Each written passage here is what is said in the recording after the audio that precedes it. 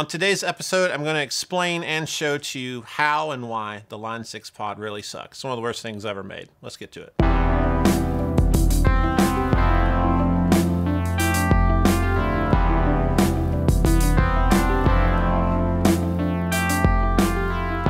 In 1998, Line 6 launches the pod and sells around 3,000 units per month, and eventually they sold millions of their amps. And this unit, it's pretty wild. I have one here. Here's one in the bag. We don't have a he has the bag jingle, maybe one day. He has the bag. So here's the rules. Here's what we're gonna do. This is one of the most crapped upon things in modern guitar. People swear it's horrible that it can't sound good, but those sales numbers and the tech inside of it and the team that work on it, that defies that logic. This is an amazingly brilliant product. Marcus Ryle, the main developer, the guy's a genius. And this started a lot of stuff that never existed. So much so that the later 4x4 units, like the DL4, FM4, MM4, all these guys, they came directly from this tech. So people love those, the crap on this. So something's wrong there. Here's what we're gonna do. I'm gonna give myself two minutes. We're gonna plug up. We're gonna write a jam and pick a sound out and make it work and see if this sounds good on the fly, in a hurry. Can I make good music with this, yes or no? Let's go. This first jam, the setting is really simple. I went to the black panel, so that's a Fender Blackface. Uh, Fender Bassman is one of my favorite amps, so it's probably in that genre of amp. And then I went to the 410 setting. You can switch different cabs here, 212s, 410s, whatever, 112. I added a little bit of reverb and I have the delay with compressor setting and you can tweak that by, there's all kinds of secondary controls. Just hold the tap control and then this becomes like delay repeat, delay mix. It's super versatile if you just learn it, read the menu, you know, there's a PDF online. You can download that and learn stuff. Let's see what it sounds like.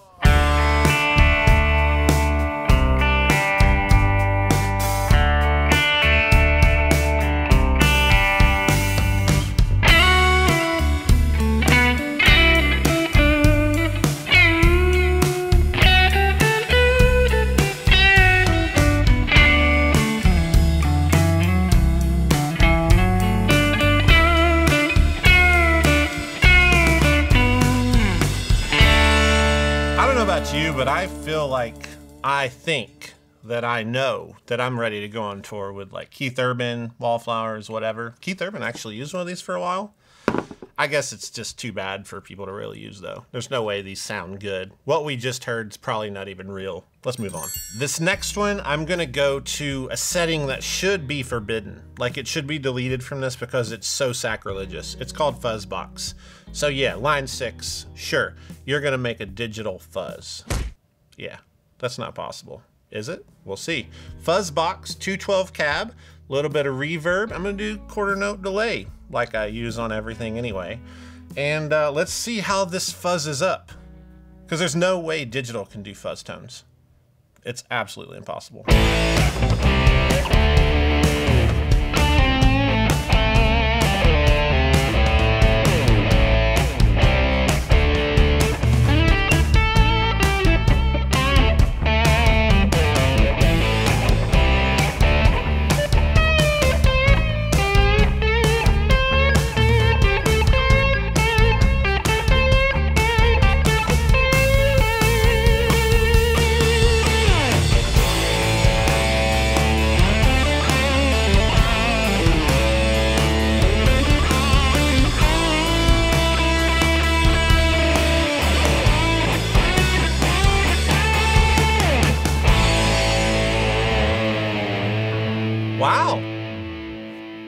Pretty good tone. I mean, I could play for Dire Straits with that. Probably jam with Andy Timmons. I don't know, but it's digital. There's no way it really sounded good. I'm just fooling myself, you know. Nick, that didn't sound good, did it? Nah. Nah, it didn't sound good because it's a it's the kidney bean. It's the bean pod. Like this can't sound good, right? Uh, Any Addison? There's no way. No, Sounds like crap. Sounds horrible. This thing really sucks. All right, let's move on. Now, this is the final jam here to determine if this piece of trash is worth checking out, you know, because you tried it back in the day, you hated it, right? Because people said it sucked. And then if you're a younger person, you've heard of this and you're like, this thing sucks. Give me the Helix. Something like that. I hear you. But here's the thing. Let's try something that's really hard to do. It's a multi-layered sound. It's my favorite sound. It's shoegaze. So I want to create a big, huge ambient sound that lets the clean attack come through. So chorus delay, a la Memory Man, a lot of reverb. Now I'm gonna go to the British classic amps. That's gonna be a Marshall style thing. And I'm gonna do the 412 cab. And we're gonna see if we can mimic some Slowdive kind of vibes. Big shoegaze. There's no way this will ever work because you need those analog pedals. You need Memory Men. You need real amps. This is stupid. Why are we doing this? Move on. Just do the jam, get it over with.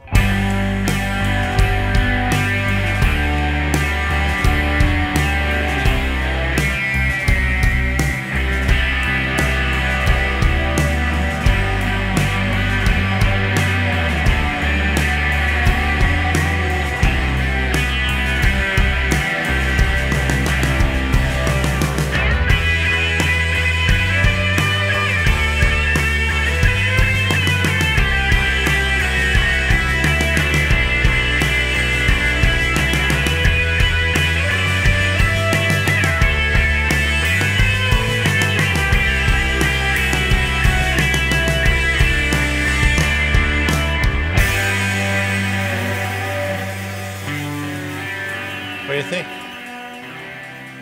Yeah. It's hard to admit that it sounded good. I know. It hurts you, doesn't it? It like breaks your little heart. It's fine. I mean, two minutes for each setting here. This is a really cool unit. I feel like I could do a hundred jams with this. It sounds good. I'm running mono because I like mono. Some people go stereo, say it even makes it sound better. I don't know, don't really care about that. But it's pretty crazy. And here's the bottom line. Line 6 did this stuff before anybody. People had tried DSP, but Marcus Ryle is a genius. And when this came out, no one had ever taken digital and made it feel right. He's incredible. He invented ADAT. Come on. The guy's like literally a genius. So the other people involved here, Line 6 at this time, they go on to do this series. But the people that start walking through the door right as the pod is released, you have Jeorge Tripps. He shuts down Way Huge, says whatever, not doing this anymore, joins Line 6. You have Terry Burton, who created Strymon and is now part of Meris, along with Angelo, both of those. It's insane. The people involved in this knew what they were doing, and this stuff sounds really good whether you like it or not.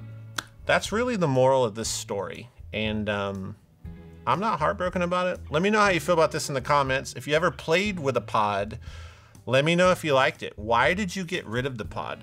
Let's examine our hearts and just see if maybe some of this old gear that people says sucks is actually pretty good and you could still use it. I don't know.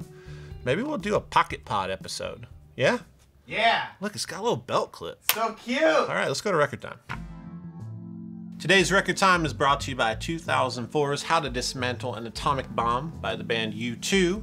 I picked this record for a couple reasons. One is it might be my favorite modern U2 record. It's hard to beat Unforgettable Fire for me. Uh, this one is full of Line 6 sounds and tech. So the Edge, big user of all this. The Pod Pros Live, the delay units, basically Line 6 powered tons and tons of how these songs were written, created, performed live. Yeah, when you listen to this, the tones are incredible. Go listen to Vertigo, listen to my favorite track, City of Blinding Lights. Um, they're just all really good. Crumbs from your table, yeah, all because of you. You're hearing line six on this, and you probably never knew it. It's a really great record. And I think this is a good U2 record for people who don't care for U2. I know there's a lot of you out there. So check this out. Let me know what you think in the comments below. Thanks so much for watching this. I hope you enjoyed it. I hope that you realize that, you know, the Line 6 pod's probably not for you. It's not usable. It's basically trash. In the comments below, let me know your favorite jam or let me know the jam you hated most because that would kind of be your favorite. Because whatever you hate the most means you actually kind of liked it. I think, something like that. Hit like, subscribe, click the bell icon to get notifications of future episodes. If you want to jam along with these pod jams, I know you do, you can play your pod with my pod down in the link below in the description. Over at BandLab, you can download all these stems. Go to thejhsshow.com for some stuff like merch and join our Patreon for the preservation of pedal history. Go be a member over there. That's it. Thanks so much for watching. Have a good day. Play your pod. Maybe dig it out of the trash. Yeah, it's in the trash, I think. It's in your closet.